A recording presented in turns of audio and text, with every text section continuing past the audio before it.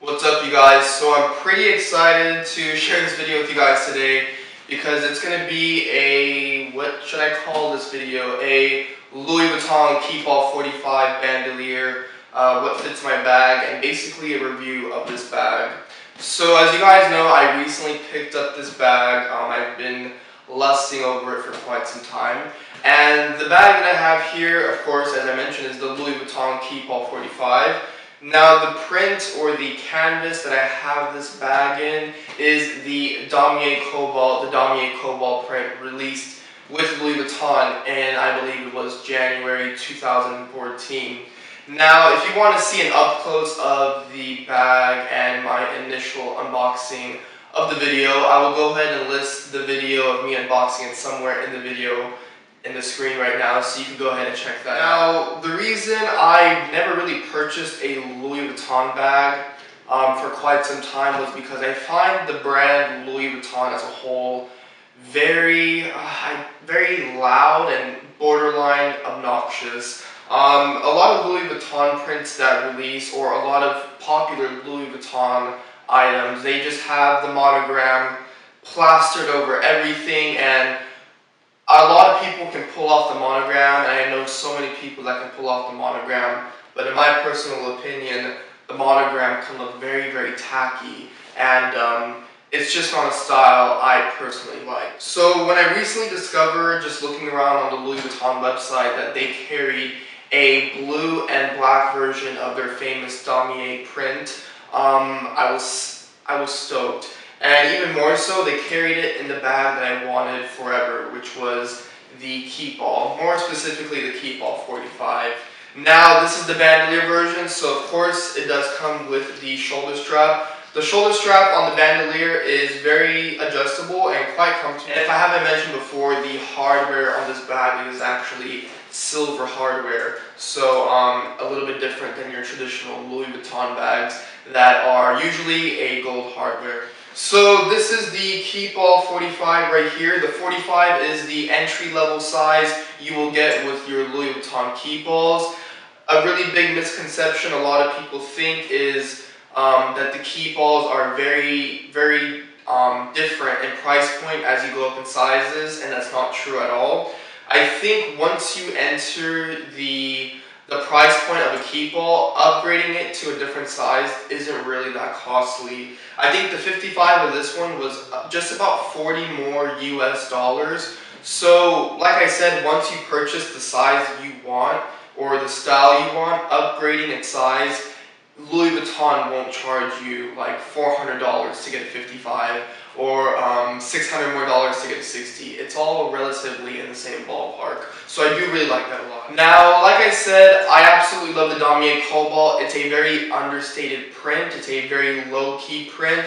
Just my kind of style. And you know, I really want to address this because my style hasn't always been understated. I used to be someone that was really flashy. I liked logos on everything. I liked everyone to know exactly what the hell I was wearing. But my style, as it has evolved, I would like to think, over the years, I definitely like things that are more just low key and just not very, very discreet because I that's just the style I like. So I kind of like that because it just goes to show you that anyone that might identify or recognize a designer item you are wearing, they will have to kind of know about fashion or keep up with it to appreciate it. So I personally like that. And another reason I got the Damier Cobalt print was because sometimes when I work in Los Angeles for photo shoots, the photo shoots don't, or at least the studios, aren't located in the most glamorous locations. So I don't want to be a red target walking around with a monogram plastered bag and get mugged or something. That's just the reality of the world we live in. And um, even when I travel to uh, certain countries, like when I go to South America, um, in Colombia, if you walk around with a Louis Vuitton monogram bag, it's just like you're asking to get kidnapped, I feel like. So I, I definitely like the understated version of this bag. The Keepall and Louis Vuitton items in general just keep going up and up in price. And I remember when the Keepall, or when I first um, recognized the Keepall, I think this bag retailed for no more than $1,400.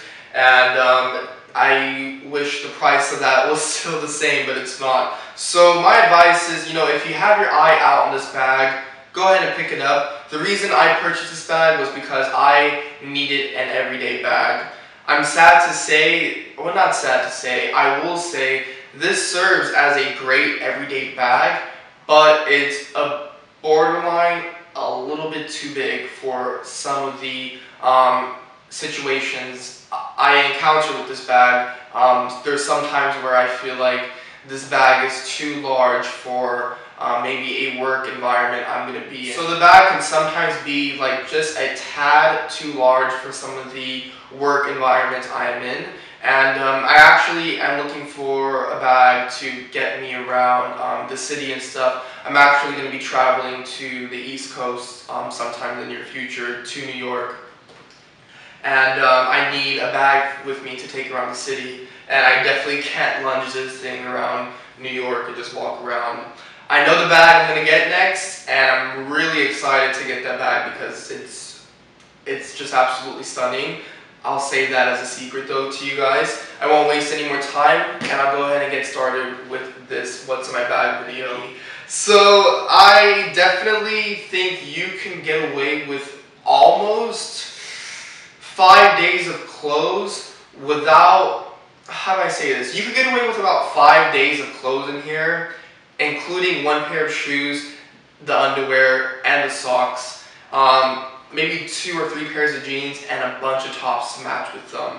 So you can get away with almost a week of clothes in here, or at least I can. I am the master of packing bags. So you could get away with about four to five days of clothes. Obviously, you could get away with a weekend of clothes in here. I'm going to show you what I carry in here personally for work. The only thing that's not in here and that's being used right now is my camera. But my camera does fit with everything else I'm going to be showing with you inside of here. So let's go ahead and get started. So the zip on this bag is beautiful and I'm just going to go ahead and start right away.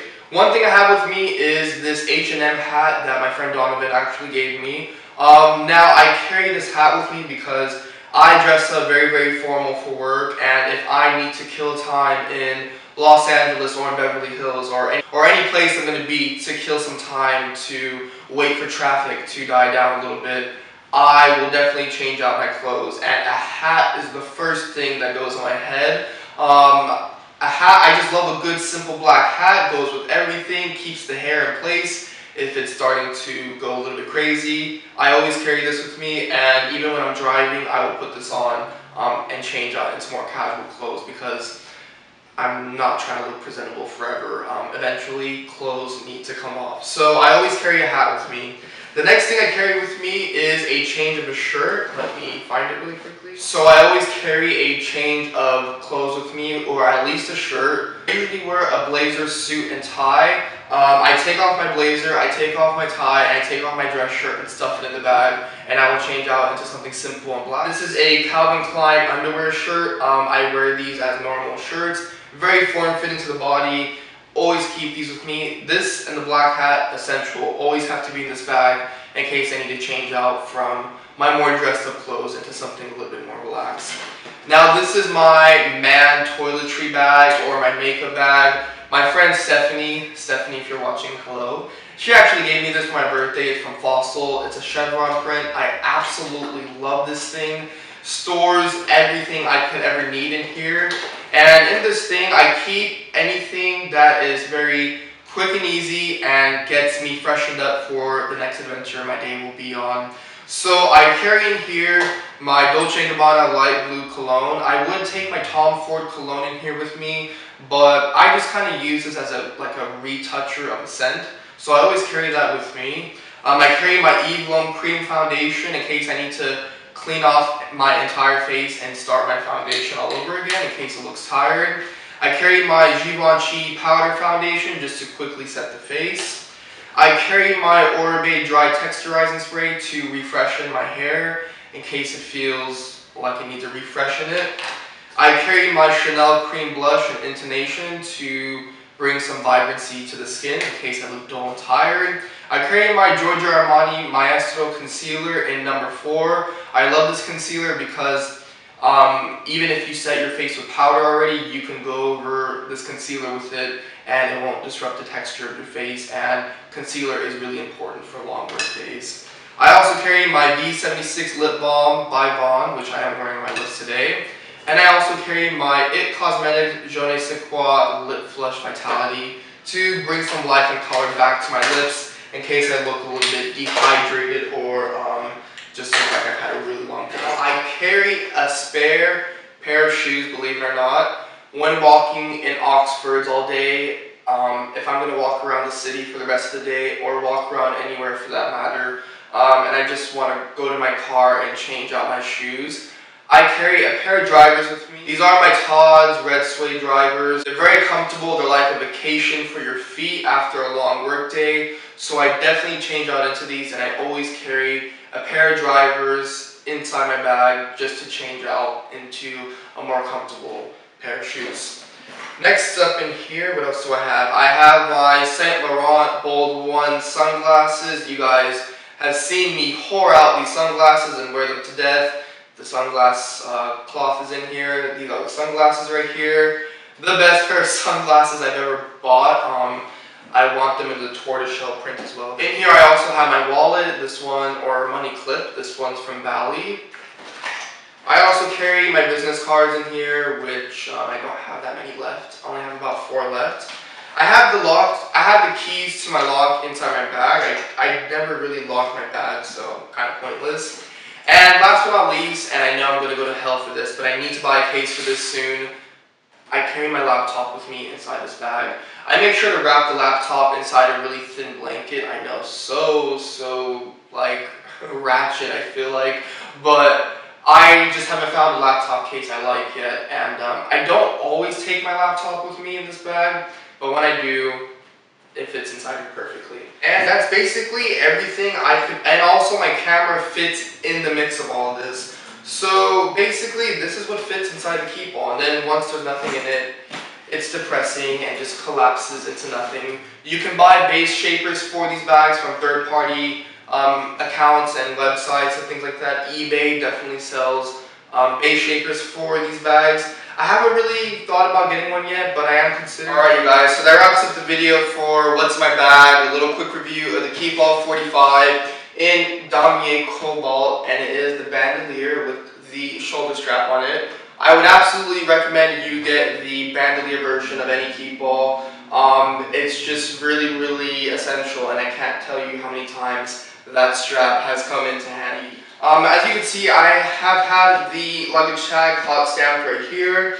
It comes with the handle grips right here, which I really recommend you keep on the bag at all times. I actually thought I lost this recently, and I called Louis Vuitton to ask how much it cost to replace this, and they said it was close to 300 US dollars for this for this little like nothing on the thing. So always keep this on there. Has a lock on it. Um, this bag is made in France. It was really hard to find a made in France one. I can't walk around Beverly Hills or anything, you know, going from job to job. Um, with this bag in my hand, I'll look like I'm gonna rob a department store or something. So I'm gonna be purchasing something that is a little bit more, ah, I don't wanna give it away. It's a really damn nice bag though, so I'm really excited to get that in the near future. I've already made up my mind on what bag I'm getting. I spent like the last two days, three days researching the bag, and um, I'm pretty stoked to get this bag next. There is a really good function and purpose for this bag though. I mean, when I'm traveling, carry-on, this is a carry-on friendly size onto the airplanes. I mean, this is just an iconic bag, and you know, I'm not really someone that's going to be a Louis Vuitton collector or anything like that. I'm not really someone that's going to be a Louis Vuitton collector. There's very select and few things I like from the brand. Um, this is definitely one of them. This was my all-time dream bag to own from Louis Vuitton.